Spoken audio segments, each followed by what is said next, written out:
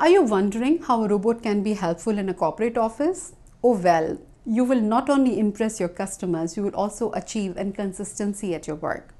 So imagine um, a reception of yours where you have a robot welcoming your guest, uh, taking a record of all the visitors who are coming to your premises, uh, maintaining the record of their temperatures, also finding out if there was already an appointment that they are directed to by, send, by being an SMS sent to them,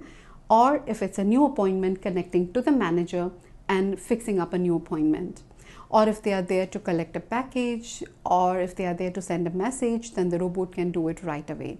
Not only that, robots can also go ahead and offer them refreshments, make them comfortable, tell them more about your company and about your goals, mission, vision, products, and impress them. So, this is, the, this is not only a way to achieve a consistency, but robots can also help you to stand out from the crowd.